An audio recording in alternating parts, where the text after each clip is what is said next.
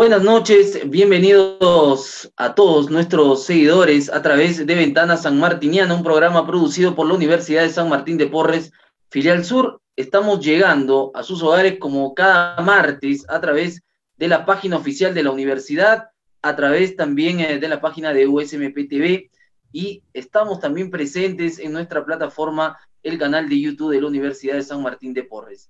Hoy Ventana San Martiniana les trae un tema como es costumbre nuestra cada martes, temas de coyuntura nacional que nacen en Arequipa. Minería y desarrollo, un binomio impulsor de crecimiento y bienestar. En este tiempo, en este año y hacia el futuro, donde definitivamente esperamos todos que la economía vuelva a resurgir, es importante este binomio. Este binomio que trae muchísimas opiniones pero qué mejor, tratarla con expertos y el día de hoy vamos a hacer eso en Ventana San Martiniana. Minería y desarrollo, binomio impulsor de crecimiento y bienestar. Somos Ventana San Martiniana, yo soy Eric Lazarte y los acompañaré moderando el programa de hoy.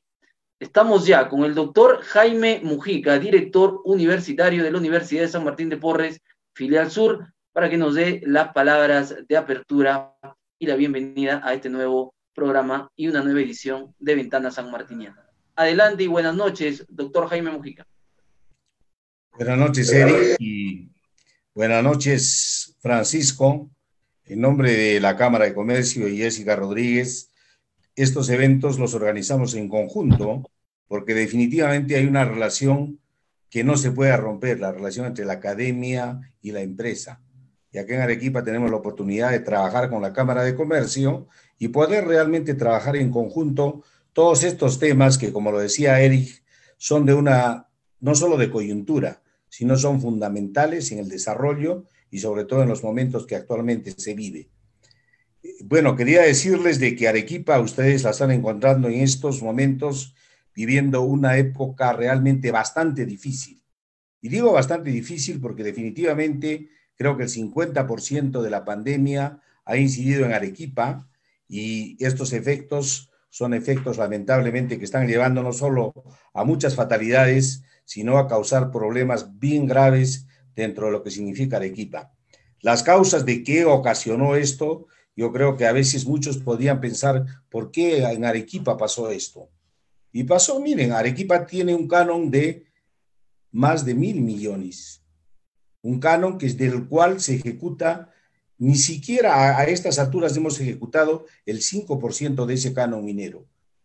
Y sin embargo, pues la pandemia se ha ensañado en Arequipa porque definitivamente ha colapsado el sistema de gobierno regional, no ha tenido la capacidad de responder frente a esta pandemia, inclusive del presupuesto asignado por el gobierno para afrontar la pandemia, solo se ha llegado a gastar el 35%. Entonces la capacidad de gasto ha sido bastante nula y la incapacidad de manejar este problema como debía hacerse, creo que ha llegado a profundizar un poco la situación de Arequipa. Hay unos personajes que creo que merecen reconocer, es la, el personal médico y paramédico que está afrontando esta pandemia en condiciones realmente bastante difíciles, ¿no? Tenemos muchos médicos y muchas enfermeras que han sido realmente ya parte de las fatalidades de esta pandemia. Para ellos yo creo que un reconocimiento bastante especial. Pero también es importante darnos cuenta de que si bien es cierto, ha fallado el aparato del Estado, ¿por qué?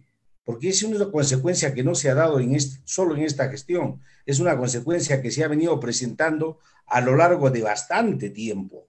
Si nosotros analizáramos el sistema de salud, el sistema de salud era caótico. Y cuando el gobierno decide prematuramente ser uno de los primeros en asumir la pandemia, sabía definitivamente que el problema más grande que tenía era la velocidad de contagio, porque la, la infraestructura hospitalaria no iba a responder. Si en Arequipa nosotros analizamos, el hospital de alta complejidad general tiene 60 años y el otro hospital, el Goyoneche, tiene 200 años y las redes primarias de salud creo que no están operativas. Entonces, definitivamente, si nosotros analizáramos de esos mil millones de canon minero cuánto se gastó en salud, yo creo que no vale la pena ni siquiera tomarlo como referencia porque definitivamente ha habido un abandono total. Arequipa está soportando estas consecuencias.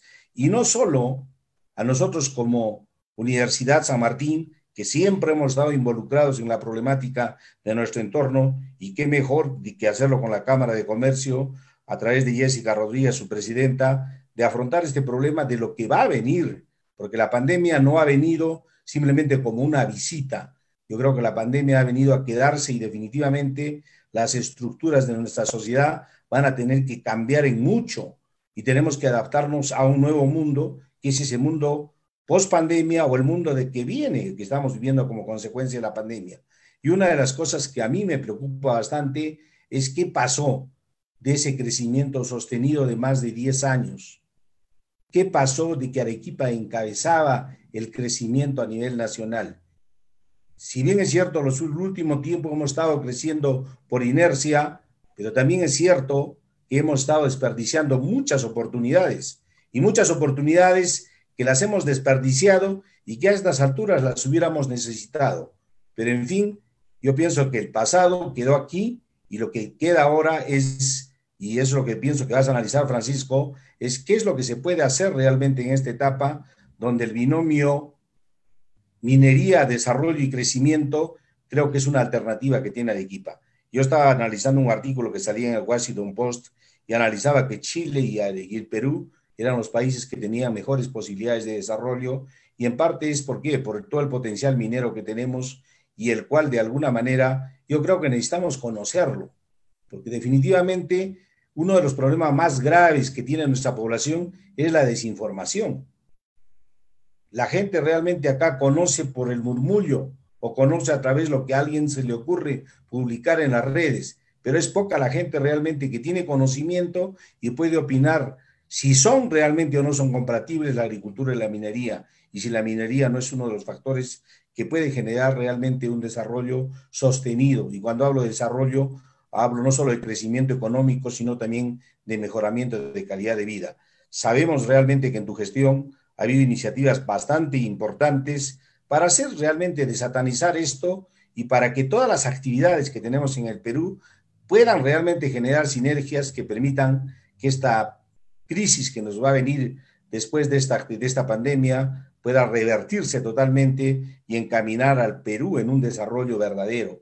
Para eso yo creo que necesitamos definitivamente un Estado firme, reglas claras y aperturar realmente la inversión, que es la única alternativa que tenemos como país para poder realmente salir de esta situación tan crítica en que nos encontramos. Te doy la bienvenida a Francisco, la bienvenida a Juan Manuel, a Barán, a Miguel, a Lucía, y bueno, espero que realmente los arequipeños disfruten realmente porque estamos conectados al nivel de la red de la universidad también en Lima, que es nuestra principal, para que podamos tener una idea clara de qué es lo que realmente significa la minería como binomio de desarrollo. Muy bien, muchísimas gracias, doctor eh, Jaime Mujica, por estas palabras de bienvenida. Les recordamos a todos nuestros seguidores a través de las redes sociales, a través del canal de YouTube, Hoy tratamos el tema minería y desarrollo binomio impulsor de crecimiento y bienestar. Muy bien, vamos a desarrollar Ventana San Martiniana y para ello hoy hemos invitado como expositor principal al um, exministro, al doctor Francisco Ismodes Mesano. Hace poco él ha estado a cargo del eh, Ministerio de eh, Minas y Energía y tiene la información, consideramos fresca, 2018, 2019, ha estado a cargo del Ministerio de Energía y Minas del Perú, al cual entonces le vamos a dar el tiempo para que él pueda compartir con nosotros esta exposición en Ventana San Martiniana. Lo dejamos al eh, doctor Francisco Ismodes, es su tiempo, dispone de los 30 primeros minutos para compartir con nosotros. Adelante, Doctor Francisco, buenas noches y bienvenido a Arequipa y el Perú lo escucha. Muy buenas noches, muchas gracias Eric. Eh, gracias por la invitación, eh, Jaime, a participar eh, en este espacio. Lo primero que quisiera mencionar es expresar mi solidaridad y condolencias a las familias que, han perdido seres queridos y que están pasando por momentos muy difíciles en Arequipa y, en realidad en nuestro país en, general por esta pandemia. ¿no? Esperamos que, esta situación pueda mejorar, pueda cambiar pronto eh, y, que, y, que, nos recuperemos de, de, cómo nos ha afectado en la salud y, y cómo se han evidenciado las brechas que tenemos en nuestro país, ¿no? Y que también podamos eh, avanzar en una reactivación económica eh, lo más pronto posible. Eh, bueno, efectivamente, el tema que hoy día voy a compartir con ustedes es acerca de este binomio que queremos, digamos, impulsar, promover, que es minería y desarrollo. Entonces, en, ese sentido, eh, lo que queremos es, un segundito acá, es eh, resaltar lo primero, ¿no? Lo primero es eh, que todos los peruanos debemos considerarnos parte interesada y también tenemos la responsabilidad del buen aprovechamiento de los recursos naturales de nuestro país como sin duda es recursos forestales, eh, recursos marinos, el gas, el petróleo y sin duda los minerales, la minería. Entonces, creo que ese es un punto de partida que eh, debemos eh, tener en cuenta. Todos somos parte interesada y debemos, digamos, apuntar y velar por este buen aprovechamiento de estos recursos. ¿no? Eh, y que estos recursos que provienen de, eh, digamos, la minería o recursos marinos o forestales, eh, sean bien aprovechados para el desarrollo de nuestro país y el bienestar de los peruanos. Eso para mí es un punto de partida bien importante para entender esta relación entre minería y desarrollo. Específicamente, el rol de la minería como los demás recursos naturales, eh, son un medio para impulsar el desarrollo de nuestro país. Es decir, el fin no es la minería, eh, el fin es el desarrollo. Debemos empezar a cambiar los reflectores que ponemos encima de un proyecto minero o encima de la actividad minera para ponerlos en el desarrollo. Y luego entender qué necesitamos para el desarrollo, ver de dónde pueden provenir los recursos para poder eh, resolver las brechas que tenemos en ese desarrollo. ¿Qué requerimos eh, para, digamos, fortalecer este rol de la, de la minería y desarrollo? ¿no? Requerimos, sin duda, eh, que la actividad minera se desarrolle con exigentes estándares ambientales y sociales. Pero también necesitamos que los recursos que se generan por el, aprovechamiento de nuestros recursos naturales y en especial de la minería eh, sean bien invertidos y que, y que sean invertidos eh, de acuerdo a los presupuestos que se aprueban en, en el país y en las distintas regiones en proyectos productivos y sociales. ¿Qué ha ocurrido en los últimos años? ¿Qué es lo que sentimos que ha ocurrido en los últimos años respecto de esta eh, binomio minería y desarrollo? A pesar de los recursos que ha generado la minería y de la normativa legal que se ha venido eh, aprobando, estableciendo para regular la actividad, sentimos que aún persisten brechas sociales y productivas y que persisten preocupaciones ambientales. ¿Y eso por qué?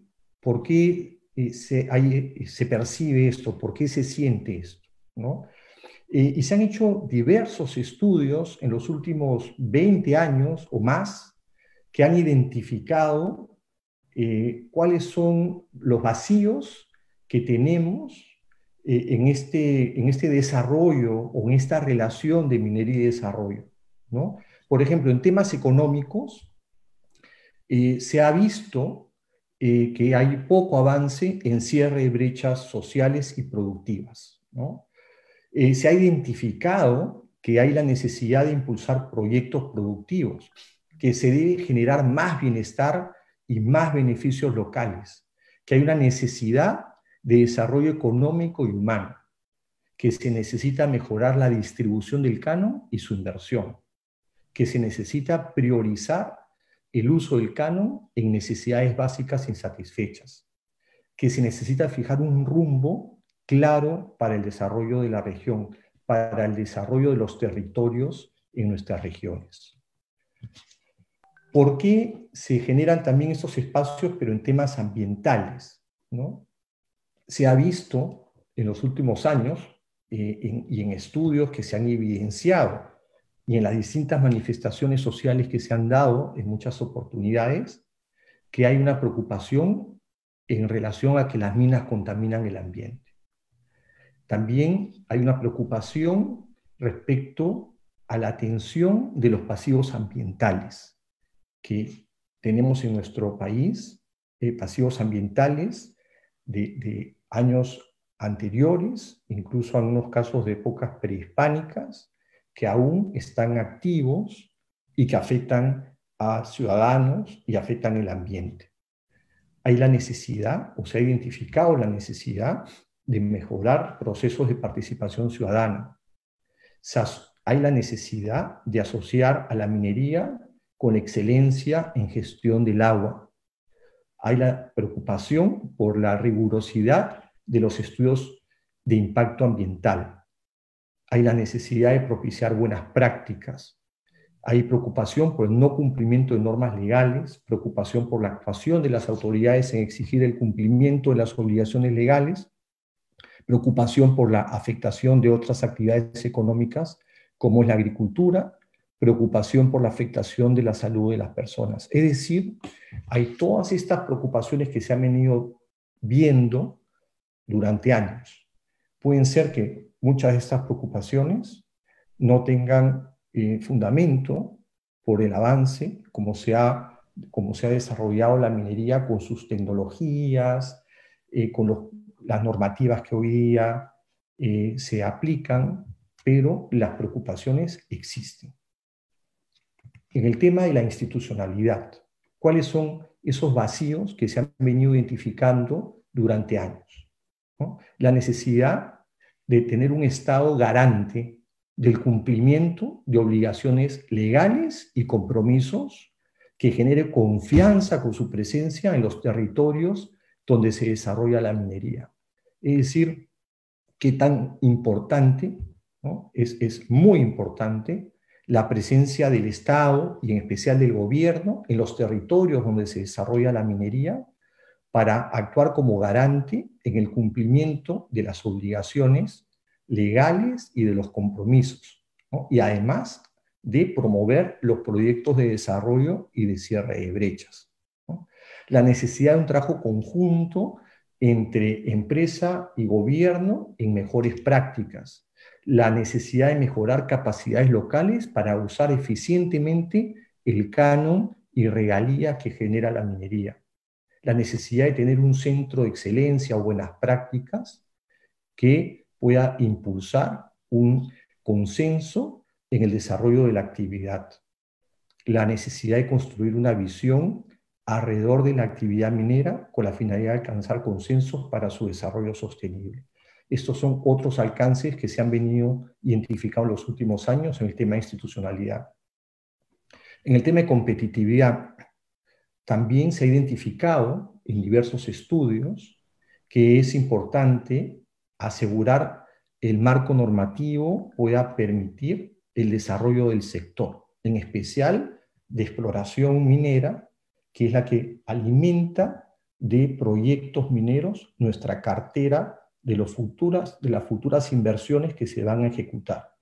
Si no hay exploración minera, nuestra cartera de proyectos mineros se empieza a reducir. Por eso es importante también eh, tener atención a la exploración minera, que es la primera parte, que es una actividad inicial y de, de, alto riesgo de inversión, porque no siempre se encuentran los recursos minerales.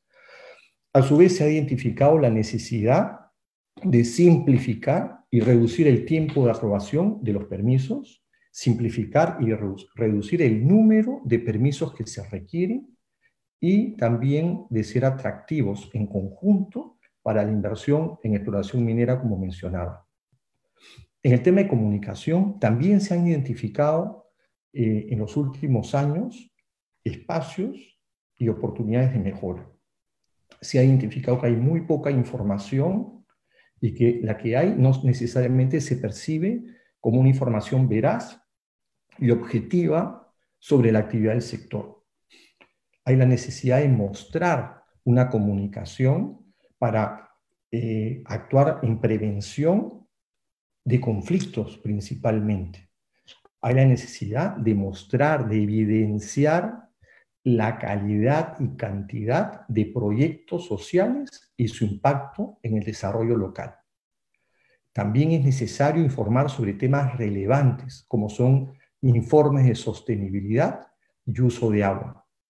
Así también que se informe en el territorio los alcances de los nuevos proyectos mineros, su avance, la fiscalización que se le hace y los resultados de esta. Muchas veces las autoridades y actores locales deben de viajar a la ciudad de Lima con sus propios recursos y dedicando su tiempo para ver si alguna autoridad lo recibe y le informan del desarrollo de un proyecto. Cuando es el gobierno nacional que da las autorizaciones, sobre todo en mediana y gran minería, la que debe estar presente en los territorios informando sobre el alcance de estos proyectos. Se requiere también generar espacios donde nos escuchemos, nos escuchemos sobre las preocupaciones que existen alrededor de la minería, eh, cuáles son las posiciones y cuáles son los consensos que se pueden generar sin juzgarlos. Y en base a eso, poder proponer iniciativas que fortalezcan este binomio entre minería y desarrollo. ¿Qué se debe hacer? Lo que se debe hacer para llenar todos estos espacios que hemos visto que se vienen generando de años atrás y que no se han atendido de una manera decidida, contundente, debemos de trabajar con un enfoque integral y participativo. Lo importante o la buena noticia es que esto ya empezó. Y esto ha empezado, y quiero mostrar tres casos o tres iniciativas que confirman cómo esto ya empezó. Este, este trabajo de una solución con un enfoque integral. Y quiero referirme a estas tres iniciativas. La primera es el círculo virtuoso para la promoción y buen aprovechamiento de los recursos mineroenergéticos que llevé al sector energía y minas y que se implementó entre abril del 2018 y septiembre del 2019. La segunda iniciativa es la visión de la minería al 2030, que se elaboró en el seno de RIMAI, que es este centro de buenas prácticas y convergencia, o de convergencia y buenas prácticas, que también se impulsó en el Ministerio de Energía y Minas entre octubre del 2018 y febrero del 2019. Y finalmente, las propuestas de medidas normativas y de gestión y de política pública para el desarrollo de las actividades mineras sostenibles que ha sido elaborada por la Comisión para el Desarrollo Minero Sostenible, que fue creada en septiembre del 2019 y que hace poco se ha hecho una presentación de esas propuestas a las que arribó la Comisión. Como digo, estos tres, eh, digamos, estas tres iniciativas están sumando para trabajar en este enfoque integral que requerimos en este eh, binomio y relación de minería y desarrollo sostenible. En el tema del eh, círculo virtuoso, que em, se empezó con su implementación en el ministerio, se trabajaron sobre cinco ejes. Uno, el eje uno es eh, velar por que los recursos que genere el sector eh, finalmente genere bienestar y desarrollo en las regiones con actividad minera energética. ¿No? Ese era un, primer eje en donde, eh, trabajando con los demás sectores de gobierno, trabajando con el Fondo de Adelanto Social, se buscaba eh, implementar o impulsar este cierre de brechas con los recursos que genera la minería. El segundo eje, la descentralización y fortalecimiento institucional. La importancia de la presencia de la Autoridad de Energía y Minas en los territorios donde se desarrolla la actividad, justamente para dar confianza a la ciudadanía en el rol que debe cumplir el gobierno y el Estado en eh, velar por el cumplimiento de las obligaciones y de los compromisos asumidos y también de la buena inversión de los recursos que se generan. El tercer eje, la sostenibilidad ambiental. Importante eh, promover las mejores prácticas en temas ambientales, eh, tener un rol muy proactivo como Ministerio de Energía y Minas para eh, promover eh, estos buenos estándares ambientales en las empresas del sector, ¿no? antes de que entre OEFA o el Ministerio del Ambiente a aplicar la sanción, trabajar de manera proactiva en promover actividades que estén cuidando y respetando el ambiente y sobre todo en este eje de sostenibilidad ambiental, la remediación de los pasivos ambientales. Como mencionaba, es uno de los temas que ha sido expresamente identificado como eh, algo que afecta eh, el avance de, la actividad porque hay temas del pasado que aún no han sido resueltos. Es importante la priorización y que se empiece a trabajar eh, de manera sostenida y decidida en la remediación de los pasivos ambientales, eh, como se, se, empezó en el Ministerio en los últimos años, donde se incrementaron el, presupuesto para la remediación de estos pasivos y se iniciaron otras iniciativas complementarias para mejorar la gestión. El cuarto eje, la promoción y buenas prácticas de, la, de las actividades del sector. ¿no? Y como mencionaba, se conformó el, RIMAI, ese Centro de Convergencia y Buenas Prácticas, y se eh, consensuó una visión de la minería al 2030 con distintos actores. Muy importante que entre los distintos grupos de interés se ha trabajado una visión que ahora vamos a ver un poco más sus detalles. Y finalmente, el quinto eje, la promoción de las inversiones con competitividad y sostenibilidad, ¿no? Cómo mejorar el espacio para que eh, se puedan eh, dar las inversiones en minería con, por ejemplo, la ventanilla única, virtual que permite simplificar y acelerar los procesos eh, sin reducir estándares ambientales en esas autorizaciones, o la mesa ejecutiva que se conformó en el, en el, Centro de Competitividad, en el, espacio de, de, del Ministerio de Economía y Finanzas, eh, ahí en el Consejo Nacional de Competitividad, donde se puede, digamos, llevar propuestas de mejoras normativas. Eh, eso en cuanto a esa primera iniciativa que nos da insumos y, y, nos marca una dirección en lo que tenemos que trabajar para fortalecer este binomio minería y desarrollo. Luego tenemos la visión de la minería al 2030, que fue consensuada, como mencionaba, en RIMAI por distintos actores relacionados con el sector eh, minero, en donde se priorizaron actividades que en las siguientes etapas, ahora el doctor Miguel Inchausti nos va a comentar un poco cuáles son estas siguientes etapas de la visión eh, minera que está impulsando eh, la iniciativa de RIMAI. ¿no? Entonces, esas actividades priorizadas ha identificado el fortalecer capacidades de gobiernos regionales, eh, en, lo que es justamente la inversión eh, de los recursos que genera minería y el enfoque en el desarrollo, eh, difundir, adoptar mejores prácticas en la cadena de valor minero, es un poco lo que ya hemos venido diciendo, ¿no?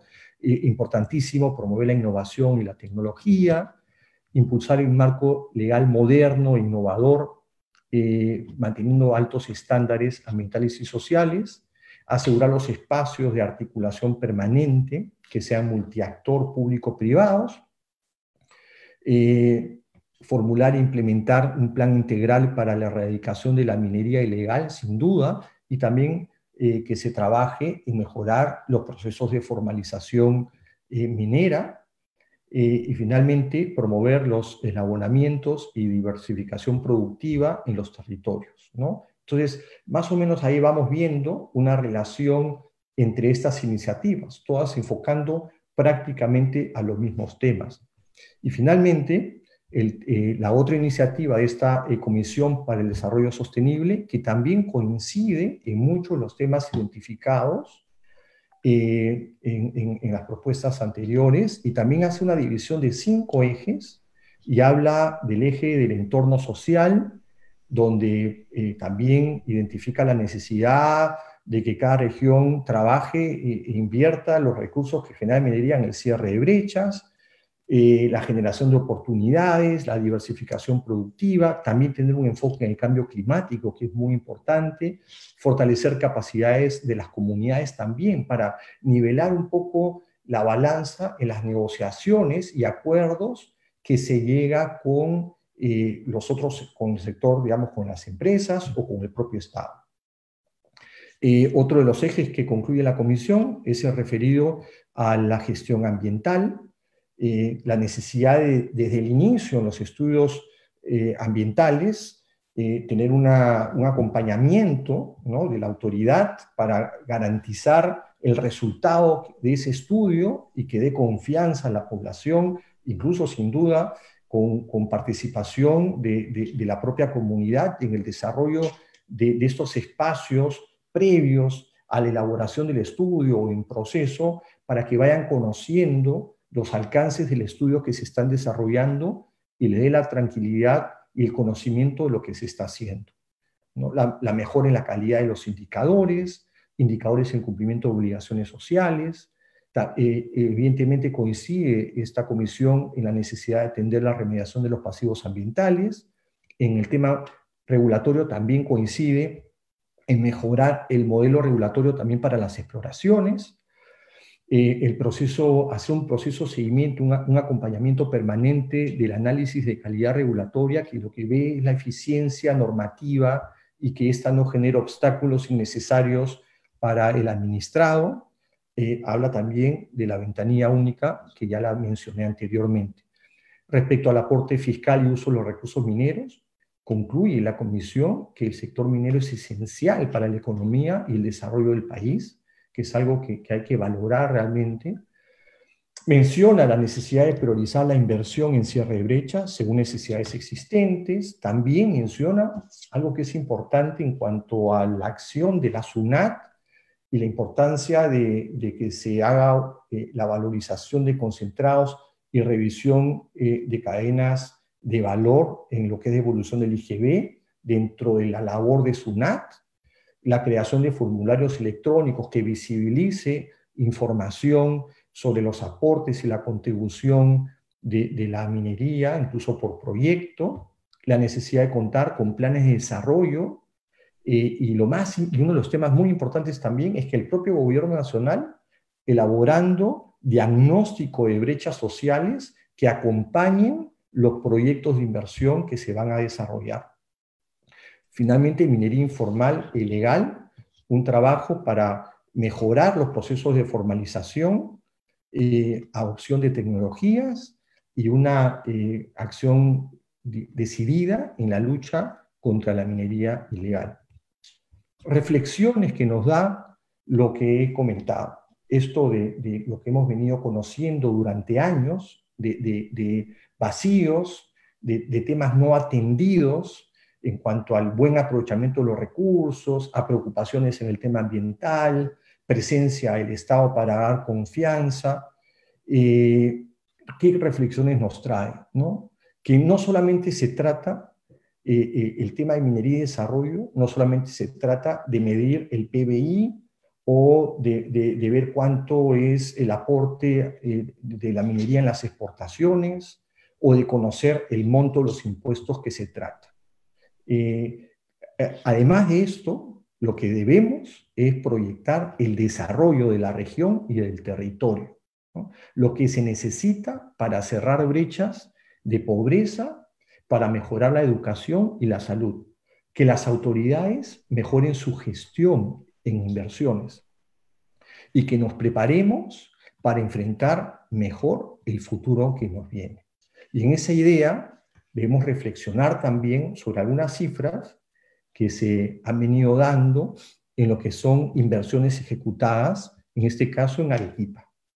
Eh, ¿Cuál ha sido el monto total de inversión eh, en salud y cuál ha sido el monto total de inversión con recursos provenientes de la, de la actividad minera eh, en Arequipa? Entonces ahí vemos como, por ejemplo, en salud, con los recursos totales se ha venido invirtiendo 11%. Y, lo menciono porque es algo que, hoy día nos toca vivir con mucha dureza, ¿no? Nos enfrentamos a algo que, seguramente ya se sabía, pero hoy día, por la pandemia, se hace visible. La necesidad de haber tenido un sistema de salud mejor preparado, no solamente en Arequipa, en nuestro país en, en, conjunto, ¿no? Pero específicamente en Arequipa vemos cómo eh, las inversiones se han venido dando priorizando transportes, eh, eh, lo que es inversión agropecuaria, ¿no? Y en el caso de, la inversión global de los recursos que recibía la región de Arequipa, salud con 11%. Y si nos enfocamos, eh, enfocamos específicamente en minería, 7.9%, ¿no? Entonces, ahí hay algo, por ejemplo, que como ciudadanos, como universidades, como empresas, como sociedad civil en Arequipa, creo que eh, debemos empezar a ver. Luego, el avance en la ejecución de inversiones con todas las fuentes, ¿no? del 2012 al 2019, cómo han ido los presupuestos y los devengados. ¿no? Entonces, en el cuadro de arriba de la izquierda, vemos el total de, las, de la ejecución de inversiones de todos los recursos. Y en el cuadro de arriba de la derecha, solamente lo que es minería. ¿no? Y vemos cómo eh, digamos, no es de este año únicamente ni del año anterior, sino de años anteriores, cómo no se llega a eh, eh, invertir el 100% de los recursos que se reciben. Y los recursos que no se invierten regresan al tesoro público. Entonces, en realidad, si vemos el 2019, casi el 50% de los recursos totales no se invirtieron en Arequipa y estamos hablando de muchísimo dinero, estamos hablando de un presupuesto de 2.800 millones de soles y casi la mitad no se invirtió. Lo mismo eh, en el caso de los recursos que provienen de la minería. De esos 2.800 millones de soles, 1.000 millones provienen de la minería, solamente en el año 2019, ¿no? Y solamente se invirtió el 55%. Y ahora si vemos los cuadros de abajo, están referidos a inversiones en salud. Con todos los recursos que recibió Arequipa, en el 2019 eh, solamente se invirtió 40% en salud. Es decir, eh, se invirtió 93 millones de 228 millones de soles que se recibieron. Y solamente vemos los recursos de minería que se asignaron al sector salud de 30 millones de soles, solamente se invirtieron casi 9 millones, 8 millones 800 mil soles, el 30%. Entonces, esto lo que nos tiene que mostrar es justamente eh, eh, lo que genera estas brechas, que no solamente no, no se invierte necesariamente en cierre de brecha los recursos que genera la minería, sino que los presupuestos que se aprueban no eh, se invierten este, de manera adecuada. Una cosa que también tenemos que ver, y, la verdad es que, da mucha, mucha pena ver cómo ya se sabe ¿no? que, por ejemplo, los porcentajes en los que es establecimiento de salud, eh, los que tienen una capacidad instalada inadecuada. ¿no? En Arequipa, el 80% de establecimientos de salud tienen una capacidad instalada adecuada y se está devolviendo plata porque no se invierte el presupuesto. ¿no? Eh, eh, pero no, Arequipa no es la única, digamos, región con ese problema. También lo vemos en Anca, Chapul, y esa es una información de, del MINSA, ¿no? Reciente, de enero de, este año, ¿no? Entonces, este, lo mismo eh, en el tema de laboratorios, ¿no? Bueno, el tema de hospitales, también 69% de la capacidad instalada de, de hospitales en Arequipa es inadecuada. Y en laboratorios, el 100% de la capacidad instalada es inadecuada. O sea, esto lo que nos tiene que hacer es motivar a un cambio, en donde todos tenemos que unirnos para mejorar esta gestión. No se trata de eh, criticar o cuestionar lo que ha ocurrido. Esto lo que nos tiene que ayudar más bien es mirar para adelante y ver cómo nos unimos en un proceso para mejorar este aprovechamiento de estos recursos y, por qué no decirlo, cómo hacemos que esos recursos se incrementen. Seguimos con estas reflexiones, eh, ya estoy terminando. Eh, los recursos naturales, como decía, es una oportunidad que nos da nuestro país y es una responsabilidad también que tenemos el aprovecharlos. Y son un, medio para lograr un fin mayor. El aprovechamiento de los recursos naturales, como he mencionado, no es el fin, no es el objeto. El objeto es el desarrollo. Y hay que ver cómo los aprovechamos con buenas prácticas, eh, sin afectar otros sectores económicos. Eh, y esos son los consensos que estamos obligados como peruanos a construir ante esta situación que vemos, que realmente eh, no es de hoy día, sino es de, muchos años atrás, de, de, subdesarrollo, de brechas que tenemos en, lo que son necesidades básicas. ¿no? Y por eso, como, ¿de qué manera podemos trabajar en, cambiar esta situación a la luz de lo que vemos y lo que conocemos? Es eh, hacer visible los roles, mayor bienestar con los recursos que generan. Hoy y el futuro, muchas veces los ciudadanos están preocupados por el futuro, quién va a fiscalizar cuando un proyecto pues, no, es para 5 o 10 años, los proyectos pueden ser 30, 40, 50 años, y muchas veces los ciudadanos de hoy no van a estar en ese momento. Entonces, eh, ¿quién garantiza que el cuidado de hoy se mantenga futuro? Es algo que también he, yo sentido y escuchado en mis reuniones con distintos, en distintos territorios en los que he estado. Eh, el rol de los ciudadanos también es importante y de la sociedad civil que es promover un diálogo, evitar actos de violencia, como estamos viendo el día de hoy en ciertas zonas en nuestro país. Pero para evitar, digamos, llegar a esos extremos, la ciudadanía también tiene un rol. Y el rol es exigir y hacer seguimiento para que la empresa y, y sobre todo al Estado como garante le exija a la empresa que cumpla con sus compromisos y con sus obligaciones. Entonces, como ciudadanos y como sociedad civil, Debemos estar atentos a dialogar, pero también hacer seguimiento a que se cumplan esas obligaciones y compromisos. ¿Cómo podemos mejorar y avanzar? ¿Cómo podemos fortalecer estas iniciativas que ya están encaminadas y que se pueden encontrar en los distintos espacios de información? Necesitamos escucharnos, necesitamos interactuar más para construir consensos. Necesitamos hacer visibles las propuestas que consensuemos y darles continuidad. Necesitamos ver y sentir avances para creer, para creer en un Estado que nos dé la confianza, para creer en la actividad que desarrolla la empresa. Para eso tenemos que interactuar más. Y como complemento a estas tres iniciativas que se han iniciado y que las he explicado, tenemos eh, dos, eh, digamos, iniciativas que refuerzan eh, eso que se ha venido trabajando. Eh, que es este centro RIMAI de, convergencia y buenas prácticas, que el, Ministerio de Energía y Minas eh, lo, tiene desarrollando y que ahora el panelista doctor Miguel Inchausti, que fue viceministro de Minas, lo va a explicar más.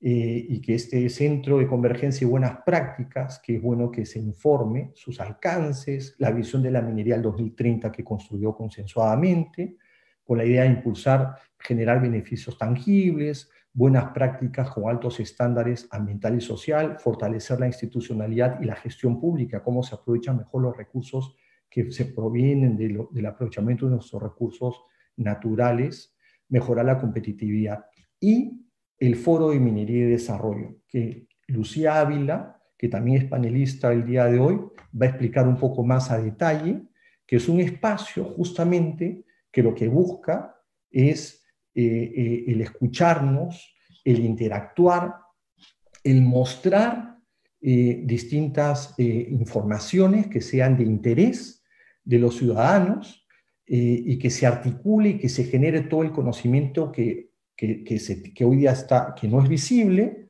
o que es necesario generar. Eh, hasta ahí, este, entonces, eh, es mi, mi, presentación y espero haber sido claro con los temas que he expuesto. Y, así es que, este, nuevamente, muchas gracias por, por, la participación de todos este, y, y le doy paso este, para que Jaime este, continúe con, con, el evento. Muchas gracias. Muy bien, muchas gracias, doctora Francisco Ismo, por su exposición.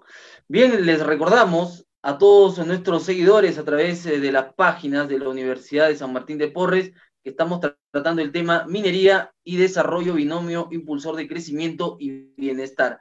Tras la exposición del doctor eh, Francisco Ismodes, vamos a ir panelista por panelista, cada uno va a tener entre 7 y 10 minutos para analizar lo que ha expuesto el doctor eh, Francisco Ismes.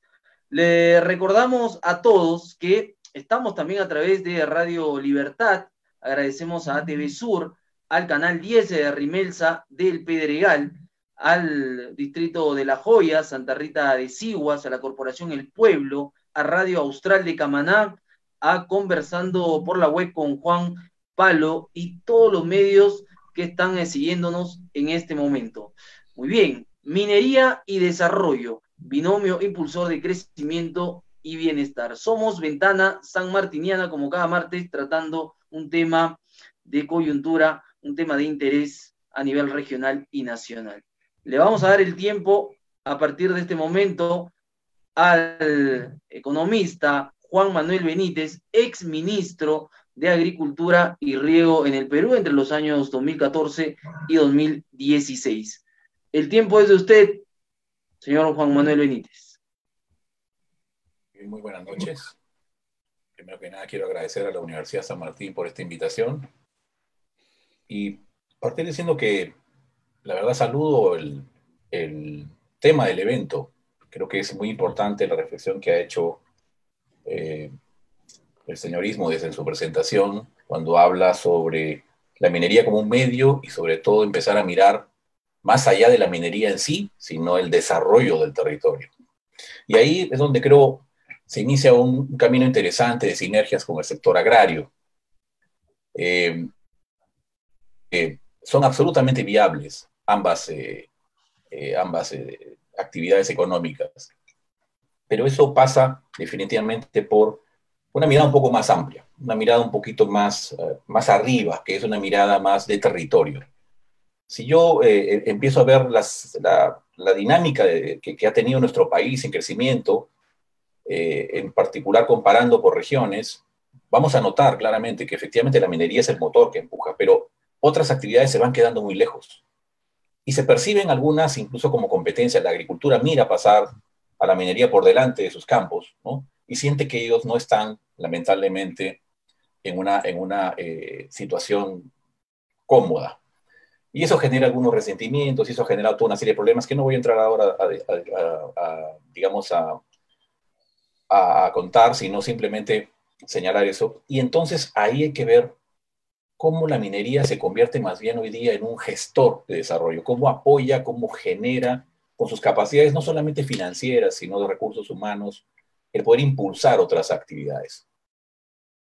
Y para eso hay que tener clarísimo, algo que también ha señalado Francisco, es, eh, y es una recomendación de la comisión que mencionó al, final, es tener un plan de desarrollo.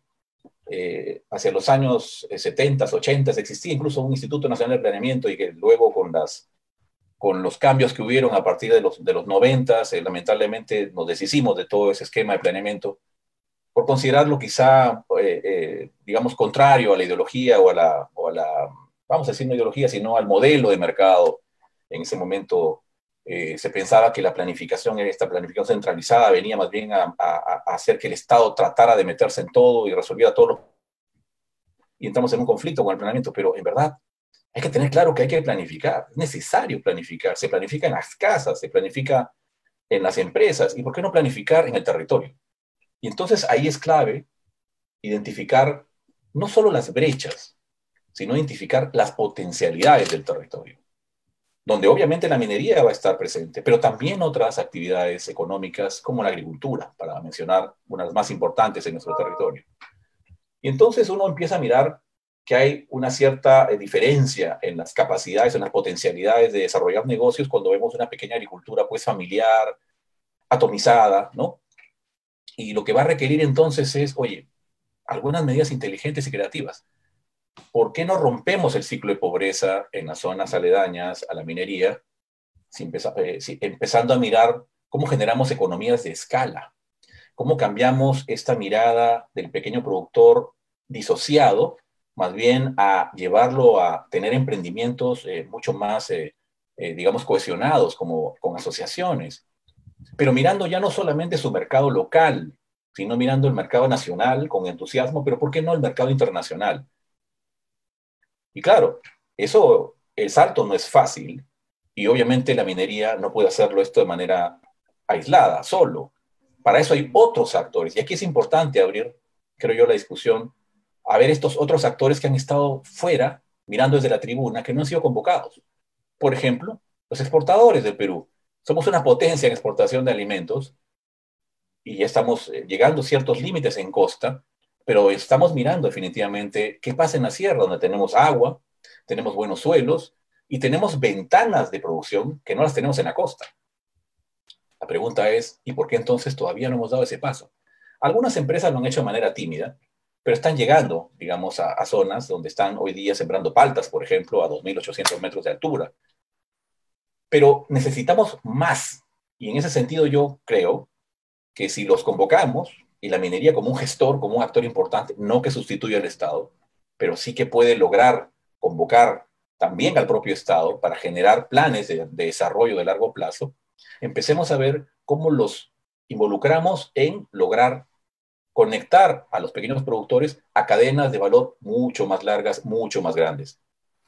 Que les empiecen a dar no solamente, eh, eh, digamos, mercado, sino transferencia tecnológica que empiecen a ver cómo las productividades en su campo, que hoy día son lamentables, puedan ser mucho más grandes, que crezcan a partir del manejo de buenas prácticas, de insumos de calidad, de semillas de calidad, o también en el caso de las crianzas, ¿por qué no?, del mejoramiento genético. Entonces, ahí es donde yo creo es importante la acción de la minería para poder propiciar esto, para que exploten estos, estos eh, procesos. Y, y, entonces, en ese caso, ya tenemos a todos los actores mirando el territorio. Porque hoy día cada ministerio hace lo que puede de manera sectorial. Vamos y ponemos una represa, el Ministerio de Transporte viene y de repente pone una carretera que no conecta con la zona de producción donde está la represa. De repente el Ministerio de Energía pone un sistema, ¿no es cierto?, de, de, energía que tampoco tiene nada que ver ni con la carretera y menos con la irrigación, porque no estamos mirando el territorio. Pero cuando nos concentramos en las potencialidades, cuando diseñamos un plan de largo plazo de infraestructura, mirando lo que va a ser de aquí a 30 años el desarrollo no solo de la minería, sino de distintas actividades, entonces ya tenemos un objetivo común sobre el cual convocar a todos los ciudadanos, donde vamos a incluir a todos los ciudadanos. Entonces la situación cambia. Ya no es un conflicto entre actividades, sino más bien es creación de sinergias. Ese es el espacio donde vamos a poder incluso convocar al propio Estado, que está un poco distraído, ¿no es cierto?, en solucionar sus problemas sectoriales, más bien a un espacio en el cual todas las partes conversan y conectan y donde, donde además, a partir de ese plan, que debe ser gestado y también, eh, ¿por qué no?, ejecutado por las regiones, con apoyo, con soporte del nivel nacional, podamos dar rendición de cuentas. No solamente por el nivel de ejecución, que es importante, los números importan, sino cuál es el impacto que estamos generando en la calidad de vida de las personas, en el cambio de su situación respecto al nivel de pobreza, ¿no es cierto? Y a la mejoría que tiene en términos incluso de factores humanos. Entonces, yo creo que esto, esto es una reflexión que a mí me parece muy, muy válida de lo que he escuchado de Francisco, que creo que hay que empezar a mirarla con entusiasmo. La mejor manera de plantear el diálogo de aquí para adelante, la mejor manera de impulsar proyectos mineros es que la gente entienda que donde hay minería, hay desarrollo. No solamente del propio proyecto y lo que significa en cuanto a recursos, sino cómo, esta empresa, cómo las empresas mineras jalan al resto cómo desarrollan capacidades, cómo le permiten dar saltos al territorio hacia eh, mejoras significativas, como acabo de repetir en indicadores que seguramente podemos discutir varios, como el, el, índice de desarrollo humano, entre otros. Entonces, yo creo que ese es el, ese es el tema más importante, el que, el que el minero entienda también que si mi vecino está bien, yo estoy bien. Ese es el mensaje. No es solo mi empresa, no es solo yo pago impuestos, no solo yo colaboro y, y estoy bien, sino cómo muevo la aguja, cómo hago que el territorio se desarrolle, mejore. Y en ese espacio va a dejar de depender, va a dejar de, depender de la minería. Hoy día vemos situaciones en las que la empresa minera está, ¿cómo no? Está invirtiendo dinero en mejorar algunas actividades productivas, pero no ha logrado romper el nivel de dependencia.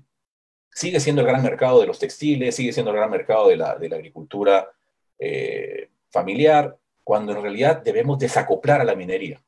Y la única manera de hacerlo es convocar otros actores. Y en ese espacio, vuelvo a repetir, mirando las potencialidades del territorio, orientadas hacia un mercado local, nacional e internacional, poner a los actores que corresponden para lograr dar estos saltos. Ahora, esto obviamente tiene que ser absolutamente inclusivo. No puede ser solo los que tienen la posibilidad de engancharse a una cadena de valor. También estarán los que tienen, eh, digamos, eh, más, eh, más orientación hacia la autosubsistencia pero también con ellos se puede trabajar perfectamente. También con ellos podemos desarrollar, eh, por ejemplo, un factor que hasta ahora vemos con cierta lentitud que impulsa el Estado en zonas más desarrolladas, como los CITES. O sea, cómo lograr que los CITES empiecen a mirar los cultivos y crianzas que van a tener mercado en los próximos años. Y cómo estos CITES pueden convertirse en centros de transferencia tecnológica, una de las grandes deficiencias en agricultura, la asistencia técnica. Cómo hacer que estos CITES se conviertan además en eh, eh, posibles certificadores de capacidades que logren incluso eh, levantar los niveles educativos, técnicos, en una zona donde los muchachos puedan tener mercado de trabajo. Si tengo una cadena de valor que se desarrolla, tengo un sitio donde me capacito, ya no voy a necesitar importar de repente técnicos de otras partes, sino que los propios locales podrán manejar pues, la inseminación artificial, podrán manejar la fertilización de los suelos, etc. Entonces, son dinámicas que creo yo hoy día, a partir de lo que hemos visto, son absolutamente posibles y no es nada nuevo. Ya hay algunas empresas que lo están haciendo un poco más adelantadas, quizá otras todavía están un poquito más en miradas más eh, retrasadas, pero yo creo que esa es la manera. Si tenemos claro el objetivo, si tenemos un plan de desarrollo a largo plazo, si tenemos a la minería eh, comprometida con ser el gestor de ese desarrollo, que ser el que, el que convoque a los actores, yo creo que definitivamente no hay resultado diferente al que el país entre en una dinámica que necesita a partir del bicentenario que está próximo. Muchas gracias. Muchas gracias. Agradecemos al economista Juan Manuel Benítez, exministro de nuestro país, ministro de Agricultura y Minas. Muchísimas gracias. Les recordamos que somos Ventana San Martiniana. El tema que estamos tratando el día de hoy es minería y desarrollo binomio impulsor de crecimiento y bienestar.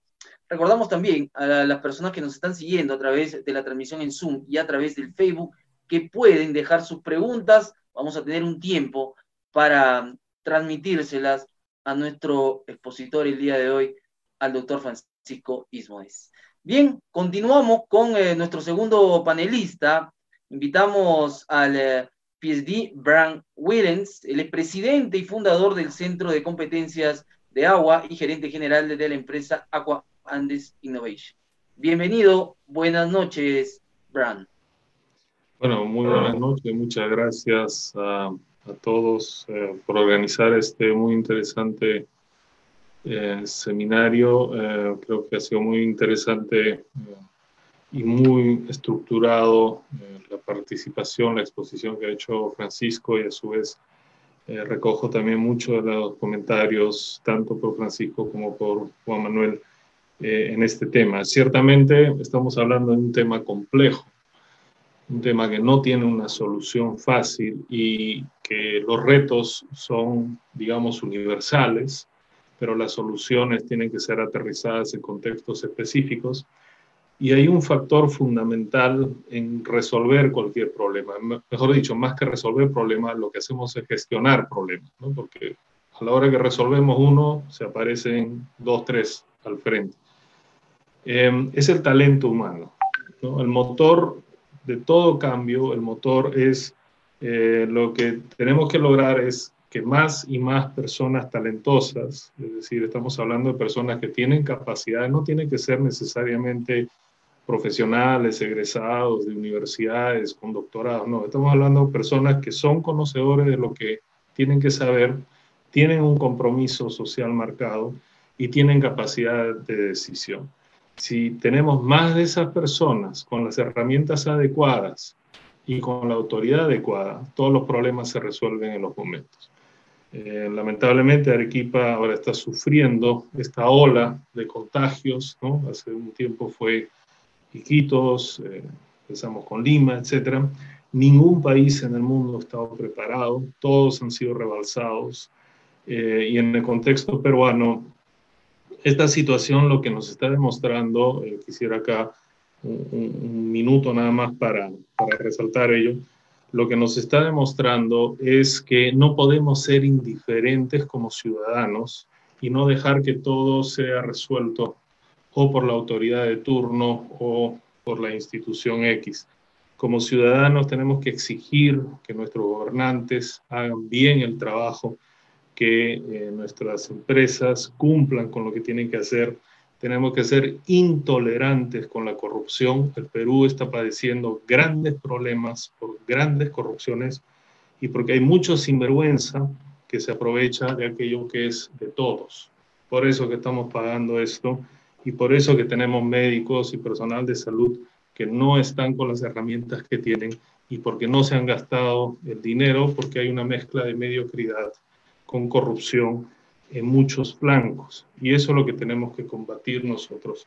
Yo creo que este tipo de eventos que nos trae juntos, eh, nos trae a personas que buscamos resolver problemas desde el ángulo donde podamos estar. Ahí eh, yo quiero un poco entrar al tema eh, del agua.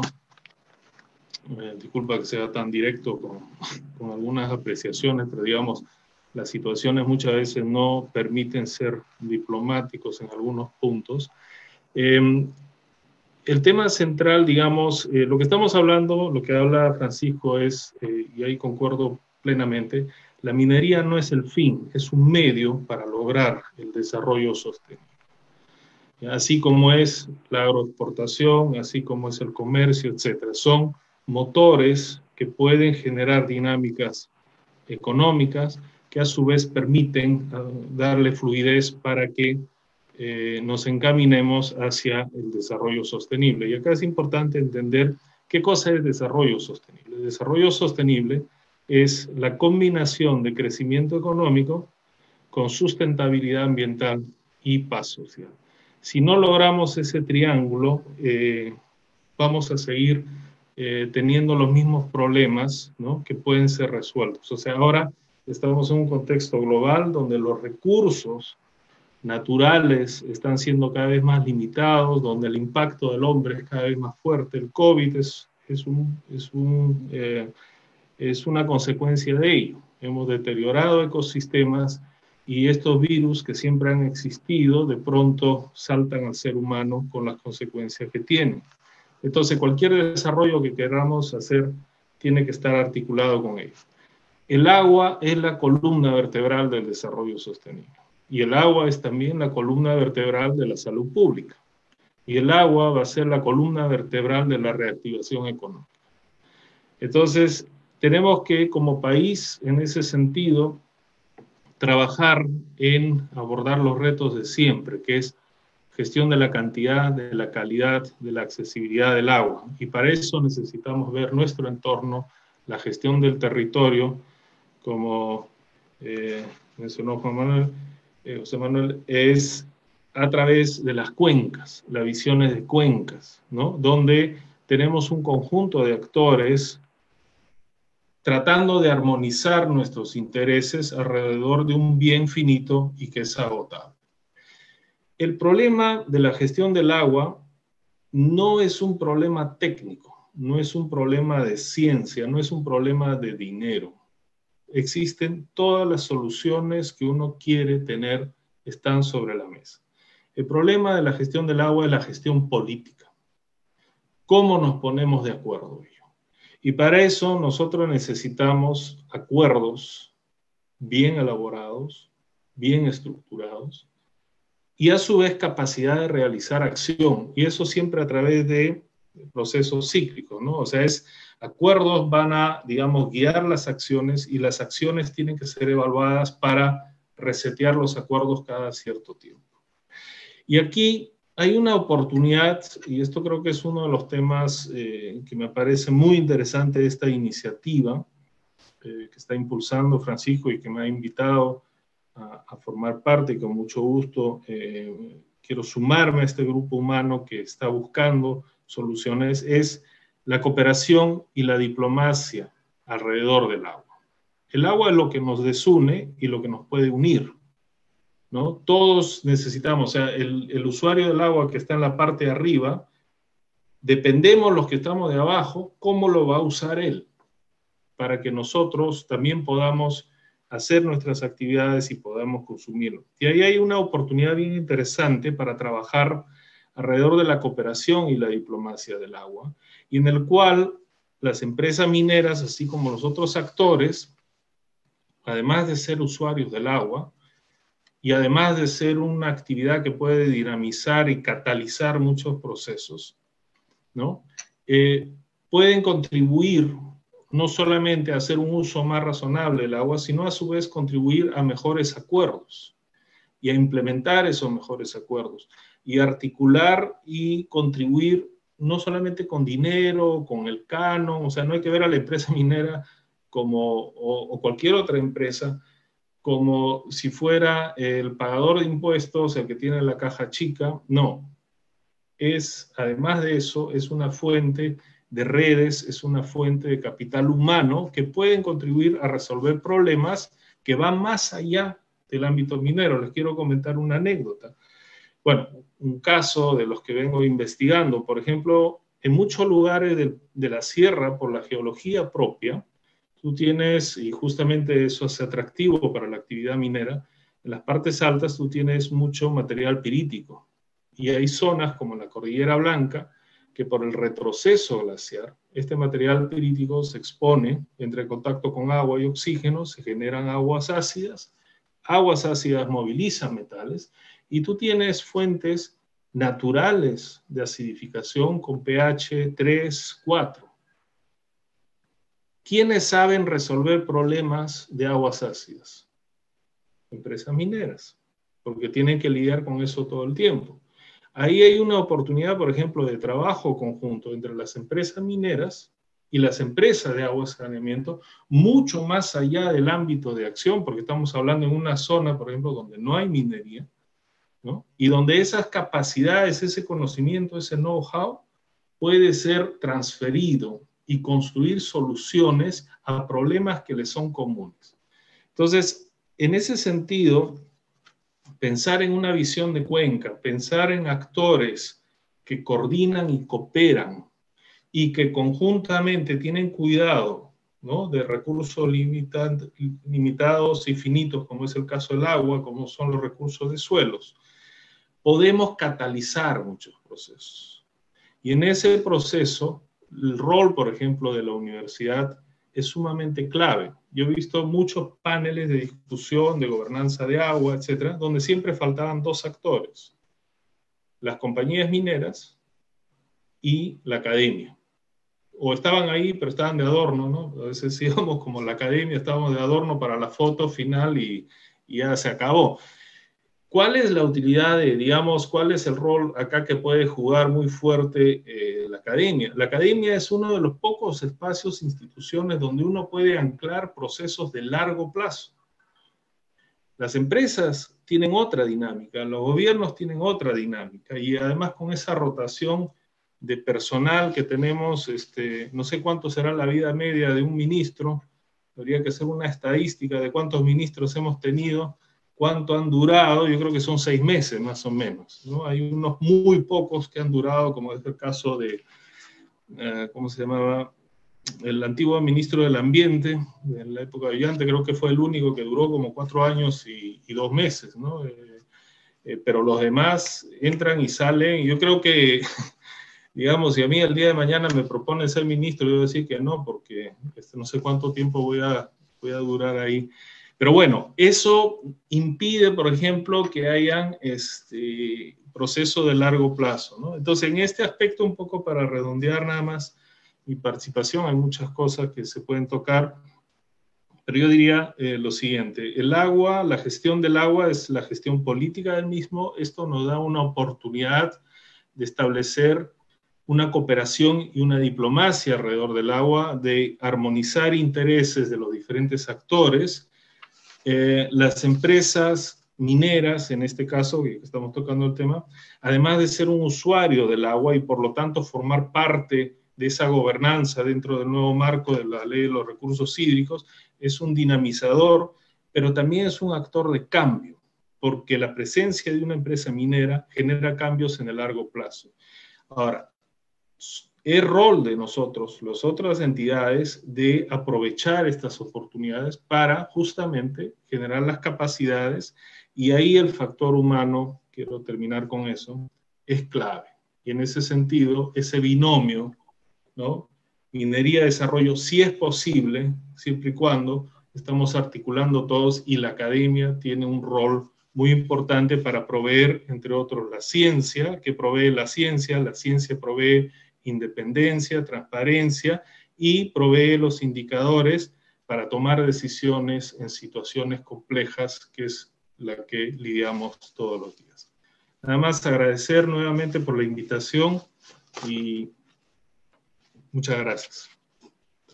Bien, muchísimas gracias a Brandon Williams por eh, su exposición, por ese análisis que ha hecho a lo expuesto por eh, nuestro invitado el día de hoy, al doctor Francisco Ismoes. Vamos a seguir analizando lo que ha mencionado esta noche nuestro invitado Francisco Ismoes y el tiempo ahora del análisis lo va a tener el doctor Miguel Inchaustegui. Él eh, fue ministro, viceministro de Minas también del gobierno, viceministro de Minas, y le vamos a dar el tiempo para que analice desde su perspectiva.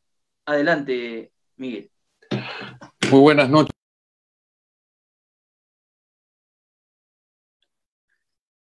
Bien, se, nos fue un poco la señal con eh, Miguel eh, Inchaustegui, pero en breve seguro va a estar nuevamente con nosotros. Les recordamos, estamos tratando el tema minería y desarrollo, binomio, impulsor de crecimiento y bienestar. Pueden dejar sus preguntas a través del chat oficial de la transmisión en Zoom, también a través del Facebook. Nosotros vamos a reproducir esas preguntas posterior a la presentación de cada uno de nuestros panelistas para que Francisco Ismodes las analice y eh, nos dé una respuesta a todos. Bien, ya está nuevamente con nosotros Miguel Inchaustegui. Adelante, Miguel. Sí, disculpen, se, fue la señal, pero bueno, eh, quería primero agradecer por la invitación ah, para ser panelista en este evento tan importante. Y lo que quería era básicamente comentar en torno a que, eh, como lo expuso Francisco en, su presentación, esto es un tema que se, que se ha venido reflexionando años tras año con respecto a cómo hacer que la minería realmente sea un aliado al desarrollo. Han habido estudios, eh, análisis de, muchas eh, entidades internacionales y nacionales, pero al final siempre se, se llega a la pregunta de cómo generar eh, consensos, cómo construir confianza. Y creo que es, eso para mí es la razón eh, el, que tenemos que todos enfocarnos para poder generar eso. Porque en la medida en que este, los actores que tienen alrededor de una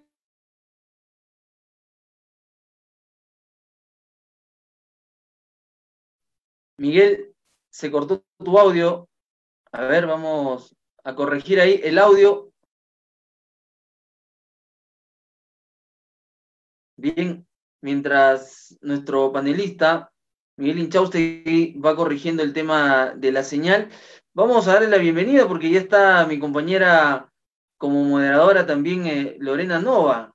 Se ha incorporado también eh, Lorena ya con nosotros. Ahí está nuevamente Miguel. Adelante, Miguel. A ver si probamos el audio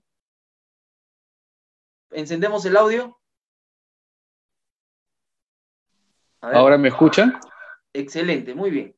Ya, bueno, no sé qué está pasando con Internet, pero bueno, lo que yo quería comentar era básicamente que el esfuerzo que se hizo de construir el Centro de Convergencia de Buenas Prácticas, RIMAI, y eh, eso trajo como consecuencia generar la visión de la minería al 2030 en un espacio multiactor.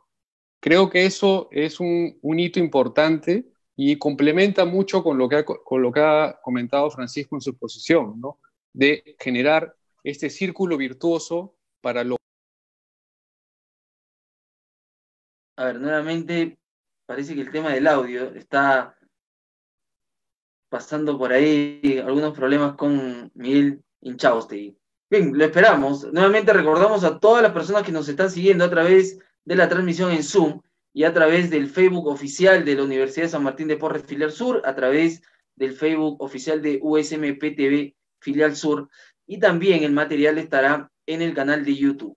El tema es eh, minería y desarrollo binomio impulsor de crecimiento y bienestar. Nosotros, una región como Arequipa, que tiene minería y que es importante ir entendiendo estos temas. Lo hemos visto desde el punto de vista del Tratado del Agua, Vamos a verlo más adelante también con el análisis de Lucila Ávila, socióloga, y en este momento estamos con Miguel Inchaustegui, ex viceministro de Minas. ¿Estamos, Miguel? Sí, no sé si me escuchan. Sí. Sí, la verdad que no sé qué problemas hay con el Internet. Mil disculpas. Lo que yo quería era reforzar eh, el mensaje de que gracias a esa construcción del Centro de Convergencia y Buenas Prácticas Minero-Energéticas, que se basó en el entendido en que se tenía que construir confianza entre todos los actores, lo más valioso de ese centro fue que se invitó a la sociedad civil, a los líderes empresariales mineros y a los representantes del gobierno nacional y este, que tienen que ver con las regiones también.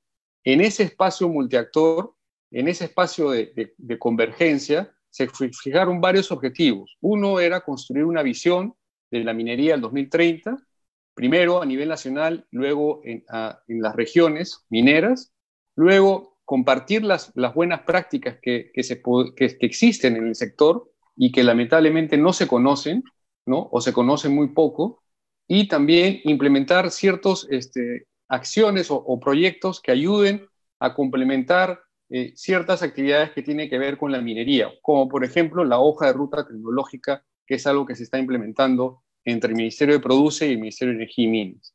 Puntualmente, en la construcción de la visión de la minería en 2030, en, septiembre del 2018, se convocó a este grupo amplio de sociedad civil, líderes este, empresariales del sector minero y este, autoridades de gobierno a construir en un espacio de, reuniones que durante seis meses, diez reuniones se tuvo de, de toda una mañana cada martes se construyó un consenso en torno a cómo se ve que la cómo queremos que la minería sea al 2030. Y, y lo más valioso que siempre rescato es que increíblemente actores que siempre están distantes en opiniones y siempre están críticos uno de los otros, se pudieron poner de acuerdo. ¿Y por qué fue eso? Fue gracias a que este, pusimos al centro cómo hacer que la minería no sea el fin, sino sea el medio para lograr el desarrollo. Y es así como tú puedes llegar a consensos, puedes encontrar los puntos de unión, los consensos mínimos para construir una actividad que ayude al desarrollo. Obviamente, el, ingrediente más importante para que todos nos pongamos de acuerdo en torno a una actividad es que la minería tiene que ser una actividad que no impacte, que impacte lo, mínimo, posible y que genere desarrollo a su entorno. No, no cuando esté operando o al término, sino desde el inicio, siempre sea ese, ese actor que ayude al, desarrollo de su entorno. Y lo otro que es importante es que este, esta, esta visión no solamente dijo, eh, yo quiero ser así al 2030, sino ¿Qué tengo que hacer para llegar al 2030 con este, una actividad que sea aliada al desarrollo, una actividad que, genere consensos y que sea apreciada por todos y que tenga una buena gobernanza? O sea, los, los Bien, nuevamente, ahí estamos con el tema de la señal esta noche. con Miguel. Bien, ya tenemos algunas preguntas y es importante que quienes nos siguen puedan redactarlas de tal manera que nosotros las eh, transmitimos. Tenemos unas ya en la transmisión en Facebook, tenemos también aquí en el Zoom. Te doy pase, Lorena. Buenas noches, bienvenida. Gracias, buenas noches eh, a los especialistas, al doctor Ismodes, al doctor Bran, al doctor Jaime Mujica y a cada uno de nuestros especialistas. La verdad que esta noche nos ha jugado una mala pasada con el tema de la red, ¿no? Eh, estamos en una época de, de, saturación de la red. Sin embargo, estamos aquí presentes para poder compartir de este webinar Minería y Desarrollo. Y alcancé a escuchar algo muy importante que decía el doctor Bran Willis, que es sobre la postura, la presencia de la universidad. Y ese es justamente el trabajo que viene desarrollando la Universidad San Martín de Porres con cada uno de, estas, de estos eventos, de poder traer a técnicos y especialistas y escuchar la postura, sobre todo en este momento cuando se requiere realmente planificación y estrategia para que nuestra economía repunte. Eh, simplemente breve, porque ya el señor Inchausegui nuevamente está conectado en el audio. Ipsos hace poco ha realizado una encuesta donde 8 de cada 10 peruanos cree que la minería formal es el único motor económico que necesita, que se necesita para reactivar nuestra economía. Si es que el señor Inchausegui ya está nuevamente en línea, podemos seguir escuchando su disertación. Adelante, Miguel. Sí, bueno, gracias.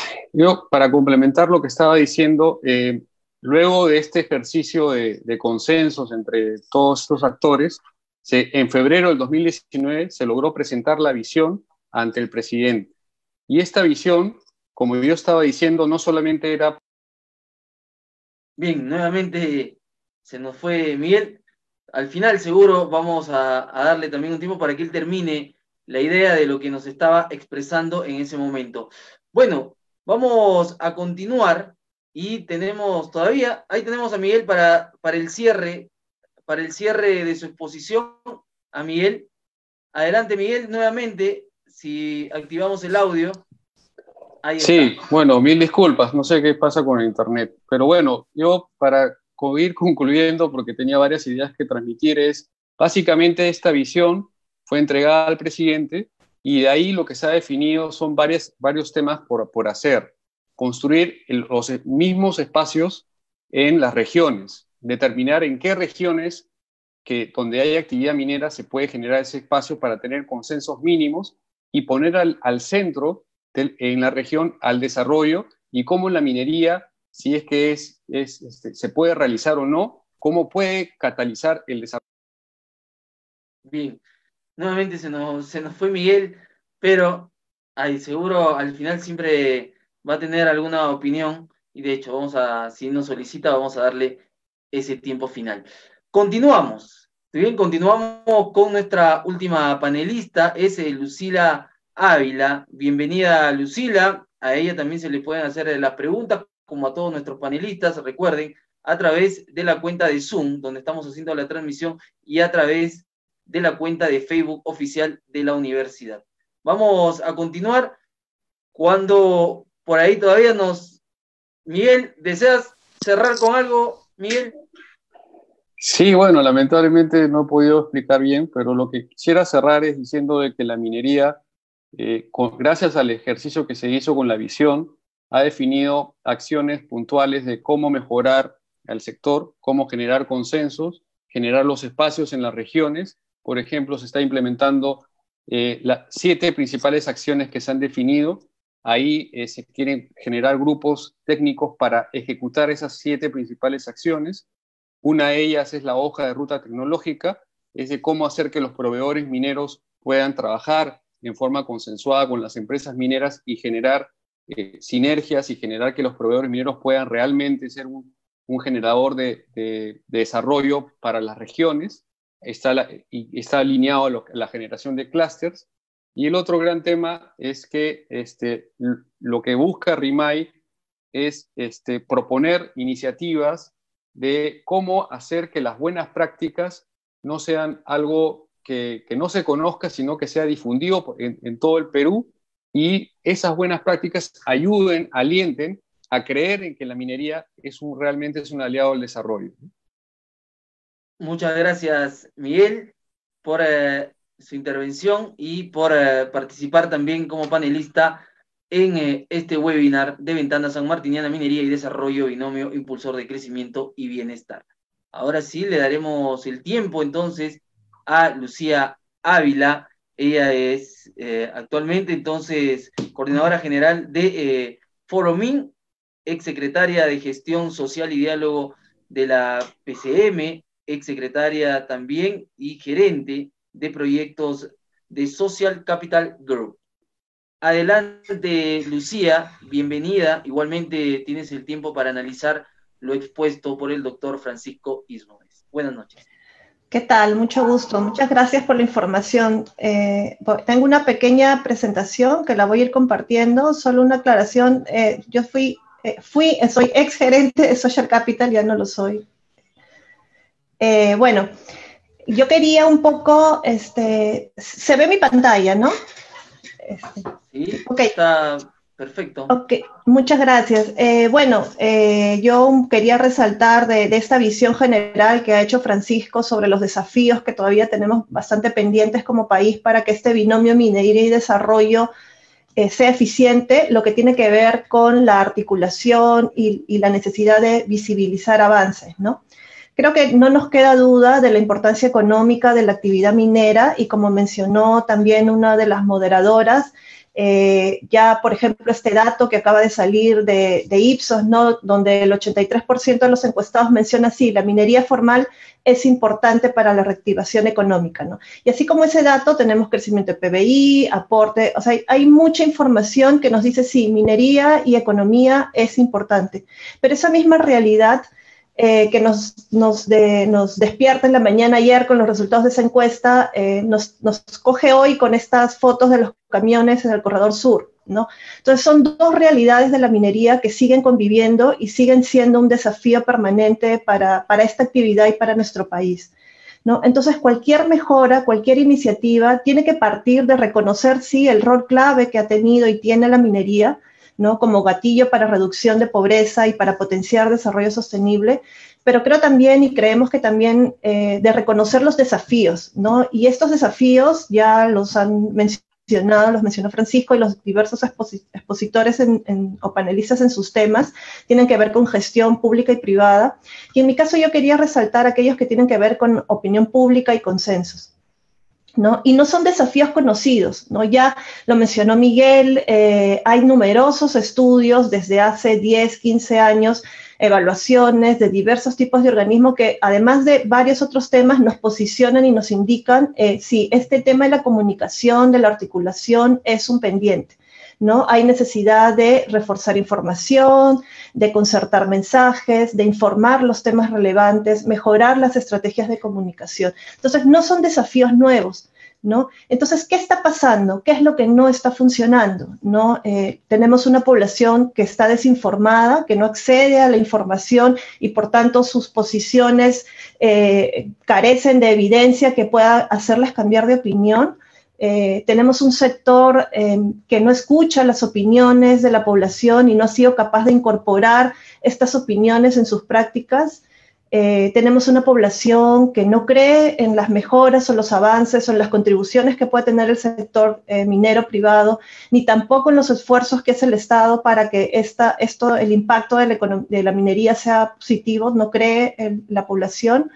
Nos sentamos a dialogar solo cuando hay conflicto y la verdad es que son todas las anteriores, ¿no? Que todas estas situaciones nos acompañan y nos siguen acompañando y nos conectan con diferentes públicos, ¿no? A los que hay que llegar. Entonces, si queremos mejorar, sí necesitamos construir y ayudar a que haya posiciones informadas. O sea, a pesar que tenemos 20 años, un poquito más de boom minero, con mucha información disponible, necesitamos seguir eh, haciendo que esa información sea accesible pero también necesitamos escuchar, ¿no? reconocer y, incorporar cuáles son las opiniones y las posiciones de la población en las prácticas eh, de los tomadores de decisiones y de las empresas y del Estado. ¿no? Ponernos de acuerdo y construir propuestas, que ya lo, han mencionado varios de los panelistas anteriores a mí, ¿no? O sea, además de información, además de sentarnos, eh, de escuchar, necesitamos sentarnos a ponernos de acuerdo. Y la visión de la minería del 2030 que, eh, que impulsó eh, RIMAI es un gran ejemplo de este esfuerzo y de esta necesidad que sigue vigente pero también necesitamos que esas propuestas, esos avances no queden en el olvido, ¿no? que esa visión no quede archivada, sino siga estando presente en la, en la agenda. Y que las necesidades de mejora, ¿no? este, y, esta mejora pasa porque los actores cumplan su rol y muchas otras que, eh, pendientes que nos ha mencionado Francisco como los otros panelistas, que no queden en el olvido. Entonces necesitamos también visibilizar. Entonces, sobre esos desafíos hay oportunidades que rescatar. Y yo quería en estos minutos eh, hablar de esta iniciativa que estamos impulsando eh, con, Francisco, ¿no? Eh, que recoge estas oportunidades, convertir estos desafíos en oportunidades, oportunidades de escuchar y dialogar, de construir consensos y propuestas y de hacer visibles esos avances y esas propuestas. Entonces queríamos presentar esto, el foro MIN Foro de Minería y Desarrollo, como un espacio digital que justamente promueva el espacio de diálogo y de intercambio de conocimiento sobre minería y desarrollo. ¿Cómo? Lo primero, nuestro primer mecanismo y uno de los más importantes es en este tiempo eh, de distanciamiento social, poner a disposición este espacio de foros virtuales, eh, plazas virtuales donde la, población y cualquier ciudadano va a tener, eh, va a poder participar interactivamente, dar su opinión, preguntar, cuestionar, recibir información, interactuar con expertos, con la expectativa de que podamos construir consensos y plantear propuestas. ¿no?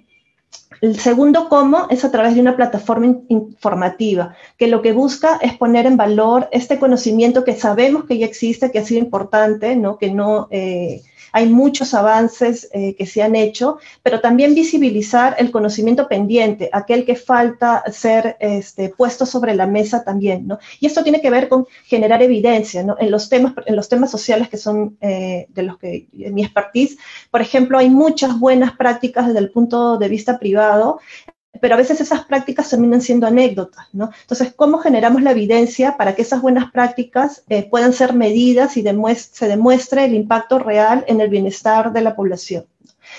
Pero sobre todo, eh, necesitamos que este conocimiento, el que existe y el que está por desarrollarse, sea accesible, ¿no? Y este es otro de los retos de la iniciativa, eh, que es que, cómo hacemos para que eh, la información no solo eh, puede estar en un solo lugar, que ya es una de las primeras eh, expectativas y, metas que tenemos, ¿no? que la información en un solo lugar puede encontrar toda la información acerca de minería y desarrollo, pero también que tenga la, la propuesta comunicacional adecuada para que pueda ser, eh, superar las barreras eh, culturales, eh, lingüísticas que, que, hay en nuestro país. Los públicos son distintos, ¿no? Y ahora con el tema de la brecha digital esto es mucho más evidente, ¿no? Entonces también hacer que el conocimiento sea un poco más accesible, ¿no?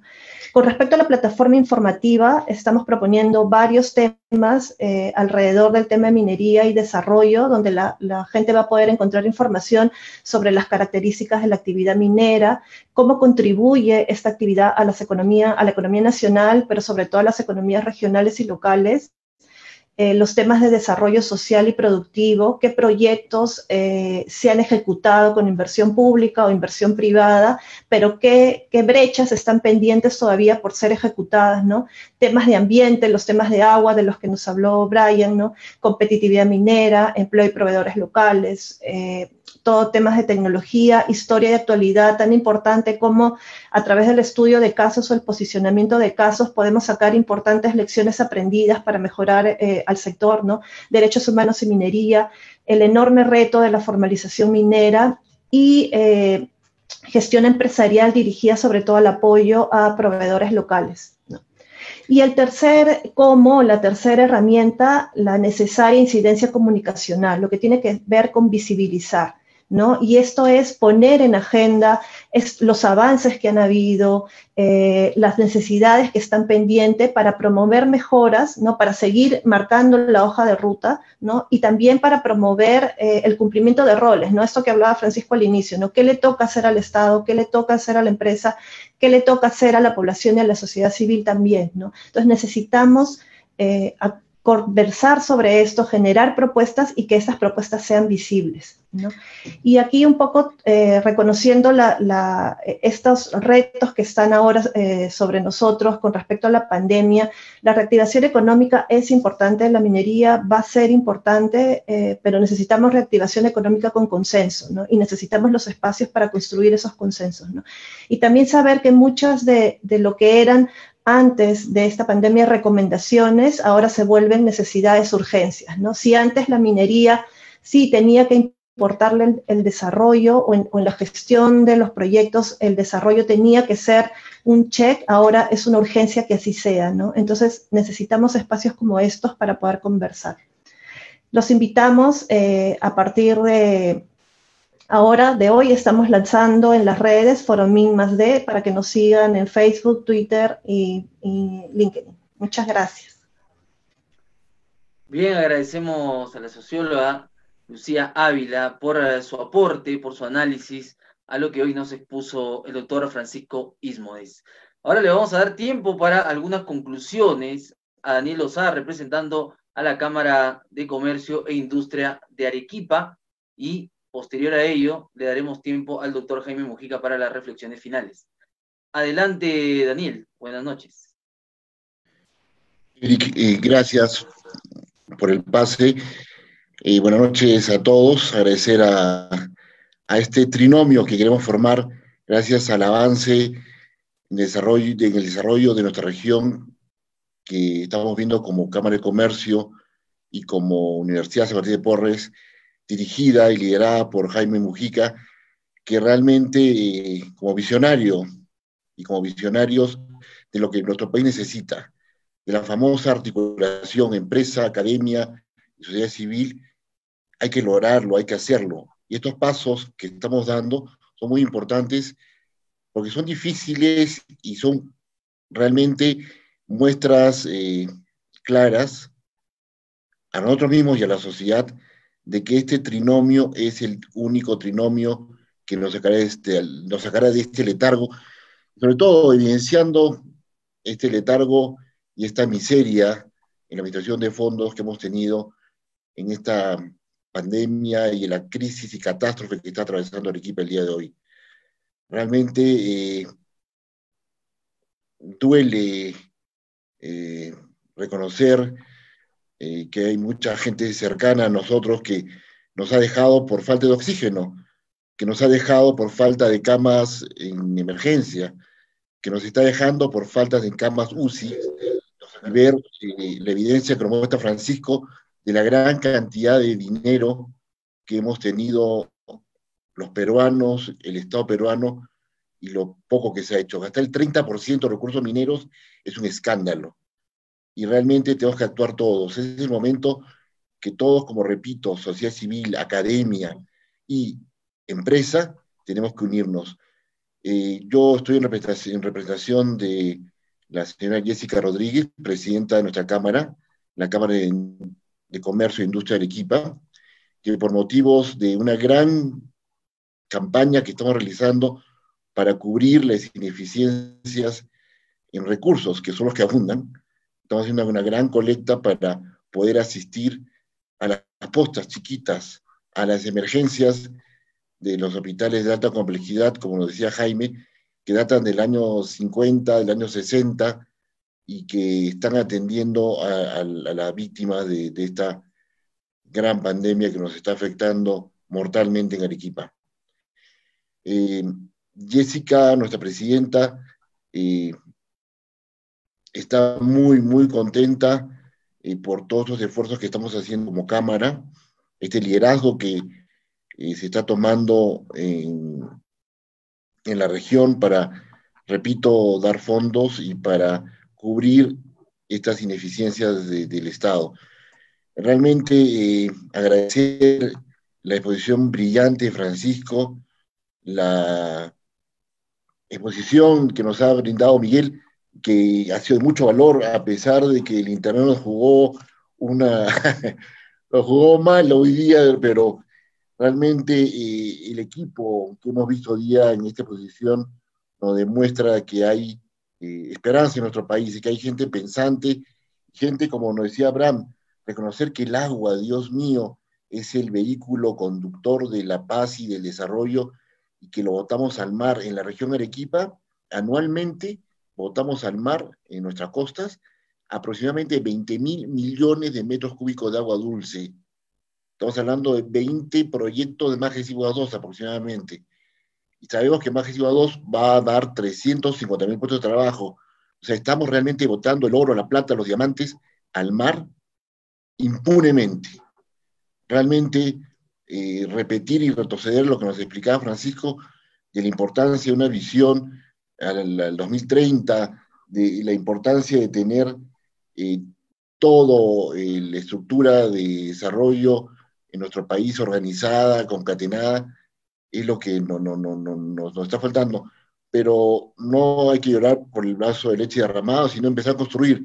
Y realmente gracias a este, esta iniciativa de la Universidad de Martín de Porres, de Jaime Mujica, de la Cámara de Comercio, de la Cámara de Comercio liderada por Jessica Rodríguez, y de todos ustedes que nos dan el honor de tenerlos aquí en un ambiente arequipeño virtual, Francisco, Miguel, eh, Juan Manuel, nuestro ministro de Agricultura, que hizo muchas cosas por el binomio agro-mina, que Rámulo mucho nos, nos, ha recordado el evento anterior en la agrominería, que realmente las oportunidades que estamos dejando pasar por este conflicto tonto, este conflicto eh, que no tiene razón de ser eh, entre el agro y la minería, está dejándonos pasar oportunidades, como decía Lucía, lo que ha pasado hoy día, hoy, hoy, el día de hoy, el corredor minero, es pues, es un, es un acto de presión insana y de falta de, de, de, visión de desarrollo de nuestro país. Pero quejarnos, repito, es fácil y, nos tienta y, y nos puede jalar muchas veces, pero construir es difícil. Y reitero mi gratitud a la, Universidad Martín de Porres, a la Cámara de Comercio, a la sociedad civil que tenemos que organizar y al Estado, porque el Estado tiene que estar acá presente. El Estado tiene acá también su cuota y vamos a trabajarla con Jaime para que incorporar, según el tema, a un funcionario del Estado con capacidad para que beba, tome toda esta riqueza de propuestas y de vivencia para el desarrollo de nuestro país. Muchísimas gracias a todos y, y a la orden y a seguir trabajando. Muchas gracias, Daniel, representante de la Cámara de Comercio e Industria de Arequipa. Bien, tenemos algunas preguntas y comentarios que han llegado a través del Zoom, a través del Facebook. Humberto Olaichea nos dice ciertamente, si no se convoca a quienes queremos a la minería como herramienta para el desarrollo y cada uno sigue por su lado, poco vamos a avanzar. Como dice Brand Willens, eh, cada vez más los antisistema, los antimineros van a ganar espacio y la lucha por las ideas y la opinión pública. Pero como el agua, mucho tiene que ver la decisión política del gobierno y no la hay. Bien, otro comentario, este de Facebook, Dani Pacheco nos dice, tendríamos que llevar adelante una nueva ley minera, mientras tanto, no más minería no, todo es el lobby, nos dice, corrupción como Odebrecht, así es la minería en nuestro país. Ricardo Rojas nos dice, ¿no? Si ningún país estaba preparado, pero ahora el gobierno exige quiere imponer nuevos proyectos mineros. Ahora, la minería no va a alimentar 30 millones de peruanos, solo la agricultura y hay que darle valor. Y un último comentario es en el Facebook de Roberto Mercado, que nos dice, si realmente la minería puede actuar responsablemente, ¿por qué nadie puede controlar la minería ilegal? Nos dice, no necesitamos que nos escuchen, necesitamos que demuestre tanto el Estado como la minería que no seguirán destruyendo el territorio. Y un último comentario en el Zoom, vamos a ver este último comentario que nos dice, ¿cuál es la proyección del sector minero respecto a la interacción con otros sectores? de qué, eh, de qué pueden apoyarse y qué sectores pueden mm, ser eh, positivos. Y nos lanza una pregunta. ¿Hay un plan de desarrollo en conjunto o estamos en una etapa individualista? Muy bien, ahí están algunas de las preguntas que le llegan al doctor eh, Francisco Ismodes para que usted lo pueda descifrar, hacer una miscelánea, un resumen de estos comentarios y preguntas que se han ido dando a lo largo de la transmisión, tanto en el Facebook como en el Zoom. Tiempo para respuestas, doctor Francisco. Muchas gracias. Eh, bueno, en primer lugar, eh, siempre regresar un poco al, punto de partida de, esta propuesta de minería y desarrollo que, estamos impulsando. ¿no? Este, eh, escuchamos algunos comentarios sobre, por ejemplo, cómo se debe articular los distintos sectores alrededor de, esta propuesta del desarrollo, ¿no? como, como, digamos, foco, como enfoque principal. Eh, por otro lado, escuchamos eh, algunas opiniones eh, de decir, bueno, que, la minería no, no, va a generar los beneficios suficientes y solo lo va a hacer la agricultura. Entonces ahí es donde entramos justamente a, actuar con responsabilidad, ¿no? porque como yo mencionaba al inicio de la presentación, eh, lo, que, lo que tenemos como peruanos son nuestros recursos naturales, ¿no? y el decir que no sean aprovechados estos recursos naturales eh, sin considerar eh, los recursos económicos que puedan generar para ser utilizados en las necesidades que tenemos como peruanos, eh, es lo que debemos reflexionar. ¿no? Eh, y ahí es donde viene eh, todo este espacio que tenemos que, en el cual tenemos que trabajar para poder hacer valer y exigir el cumplimiento de los roles que cada uno tiene, como hemos mencionado, ¿no? El rol de, de, la, de la empresa en el cumplimiento de sus compromisos y sus obligaciones el rol del propio Estado como garante del cumplimiento de las obligaciones y los compromisos de la empresa con presencia en territorio para informar a, los ciudadanos y el rol también de los ciudadanos que tienen una labor de, estar atentos eh, en, este, en este proceso, cómo se está desarrollando. Entonces, como ya se ha dicho también, eh, la minería puede ser un aliado de la agricultura. O sea, en esta propuesta de, minería y desarrollo, evidentemente eh, el sector agrario, eh, con el tema del agua, eh, con mejora de, con ampliación de la frontera agrícola, con mejora de sus procesos productivos, con la integración a, a, otros mercados, pues es donde se puede generar esta, esta sinergia. Y también se ha venido diciendo en anteriores oportunidades, eh, que, no solamente en el Perú, sino en el mundo, se ve pues estas sinergias entre minería y agricultura. Entonces, nuevamente, la reflexión es actuar con responsabilidad y a decir, bueno, cuáles son los temas que preocupan, que se deben de atender, que se deben de aclarar para poder eh, creer eh, o empezar a creer en este binomio de minería y desarrollo. ¿no? Entonces, eh, podemos, más bien como peruanos, sí, impulsar evidentemente la agricultura como una actividad fundamental en nuestro país, pero también impulsar la generación de los recursos económicos que nos puede dar la minería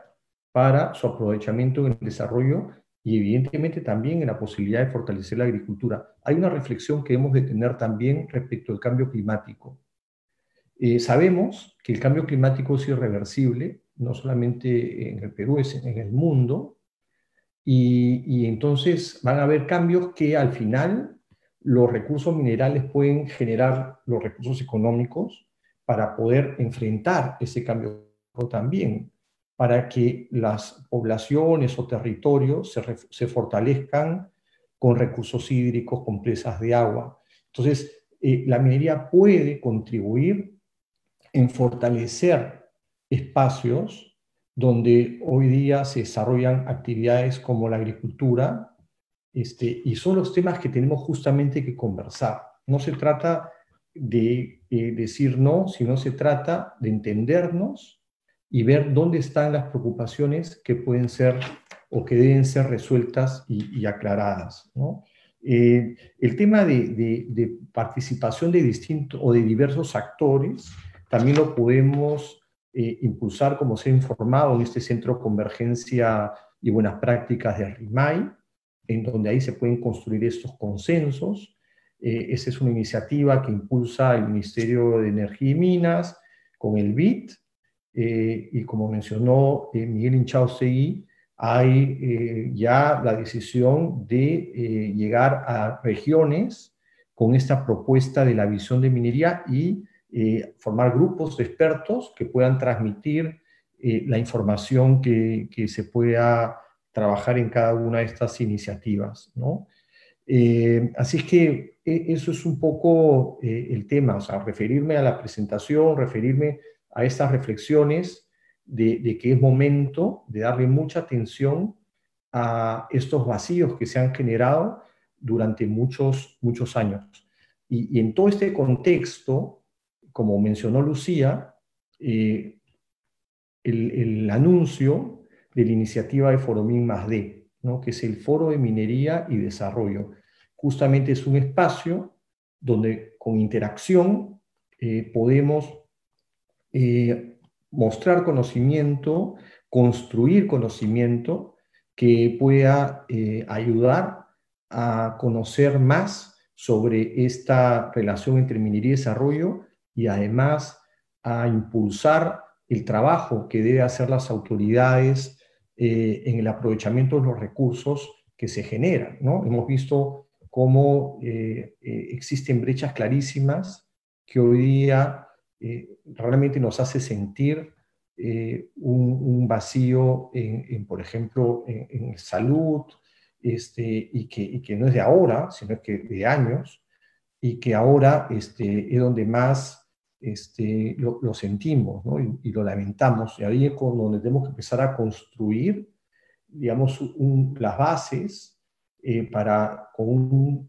una buena planificación, en, desarrollo, en cierre de brechas, en, el tema de agua, este, podamos trabajar juntos en eh, mejorar eh, lo que hoy estamos viviendo para que a futuro esto no nos vuelva a ocurrir. Pero sería, yo creo, irresponsable eh, no aprovechar los recursos naturales que nuestro país nos, nos brinda. Así que eso, eso es lo que yo quería, digamos, rematar y que anunciar este, este primer foro del Foro de Minería y Desarrollo, que justamente es este espacio donde vamos a intercambiar opiniones. Y el primer tema del foro es minería y desarrollo y que va a ser desarrollado este, este viernes y sábado eh, y esperamos la participación de todos para empezar a construir consensos. Muchas gracias. Muchísimas gracias, doctor eh, Francisco Ismodes, por eh, las respuestas a las preguntas y a los comentarios. Igualmente agradecemos a las personas que nos siguen escribiendo, a Juan Chávez, también a Alberto Ugarte, Alberto Cabello y todas las personas que en sí han puesto sus comentarios en la transmisión del día de hoy, a Nicolás de Valencia también y a Marcos eh, Garay un saludo, un abrazo para ellos que eh, nos siguen escribiendo. Vamos a finalizar. Sí, adelante, adelante, doctor Francisco. Sí, yo creo que, todas estas preguntas que han quedado eh, sin responder eh, van a tener la oportunidad de hacerlas en el Foro de Minería y Desarrollo que se va a abrir el viernes. y yo creo que eso es lo, lo importante, la iniciativa, que permite eh, mantener estos temas activos y que no sea solamente de una presentación en donde no hay la interacción que se necesita. Este, y yo creo que ese es el valor que aporta el Foro de Minería y Desarrollo y por lo tanto los esperamos el viernes, sábado, en donde van a poder ingresar a la plataforma de Foromin más D, que la vamos a anunciar en redes, el link, y ahí van a poder dejar sus comentarios, sus opiniones, sus preocupaciones y también en esa misma plataforma, además del foro, hay un eh, link que uno puede participar que es Escuchamos, donde pueden dejar eh, sus posiciones para que nosotros las podamos canalizar. El resultado del foro va a traer como conclusiones y propuestas que van a ser también seguidas después del foro. De lo que se trata es que estos temas relevantes que durante tantos años no han sido visibles, eh, no solamente sean visibles una vez, sino que lo mantengamos, eh, digamos, eh, con la atención de la ciudadanía y ver cómo van los avances para resolver los temas de preocupación y sobre todo los avances en la identificación de este cierre de brechas y de los proyectos que se necesitan para eh, la mejora eh, eh, del bienestar de los, de los peruanos. Por eso es que es importante tener ese espacio abierto de manera constante. Muchas gracias. Bien, muchísimas gracias nuevamente, doctor Francisco Ismodes. Minería y desarrollo, binomio impulsor de crecimiento y bienestar. Para el cierre y las reflexiones finales, le daremos el tiempo al doctor Jaime Mujica, director universitario de la Universidad de San Martín de Porres, filial sur. Somos Ventana San Martiniana, un trabajo que va desde el área de proyección social de nuestra casa universitaria. Adelante, doctor Jaime, le invitamos a aprender el audio, por favor. Bien, agradecemos igualmente a todas las personas que nos han acompañado tanto vía Zoom como vía Facebook. Doctor Jaime, el tiempo es de usted para el cierre. Bien, a Francisco, realmente, a Juan Manuel, a Abraham, a Miguel, a Lucía. Definitivamente, si el escenario no fuera el que estamos viviendo, yo creo que esta sería una propuesta lo más racional posible para un país de poder desarrollar una minería conectada a un proyecto nacional no como una actividad realmente que se le vea como el niño rico que pasa por la puerta, sino como una actividad que va a ser capaz de impulsar las sinergias necesarias para todas las actividades que tenemos en el Perú como potencial y que podemos desarrollar. Parece que estaríamos hablando de proyectos diferentes. Yo creo que Juan Manuel habló de algo que nos faltaba, ¿no? De un proyecto país. Y en ese proyecto país, la minería no es un ser extraño.